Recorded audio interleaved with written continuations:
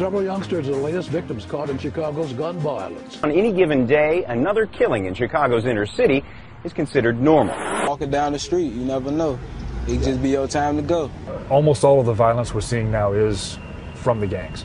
The violence has to stop. Among the payday loan shops, boarded up buildings, and liquor stores of Chicago's gritty south and west sides, this is a familiar sound. And this is a familiar sight. And so, more and more, is this. That was the funeral of Blair Holt. His father, Chicago police officer Ron Holt, says Chicago and cities like it are experiencing a cultural implosion.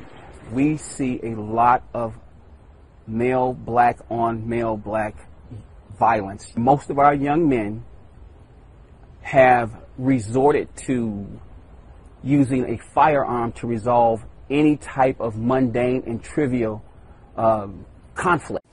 Almost all of the violence we're seeing now is from the gangs. Sergeant Matt Little leads one of the teams in Chicago's Gang Enforcement Unit. There are about 200 such officers in the city versus 100,000 gang members. When there's a shooting, we'll respond to the shooting. We'll figure out where we believe the most likely area for retaliation is, and we'll work that area trying to both prevent retaliation and possibly build a case on offenders. The gangs have lost their hierarchy, right, so to speak. And without a chain of command, there's really nobody keeping things in check. And they lost their hierarchy because those guys got killed, they went to prison, or both? Both, yes. Those left are young, reckless, and often terrible shots. Instead of a bullet with somebody's name on it, you get a bullet that reads to whom it may concern.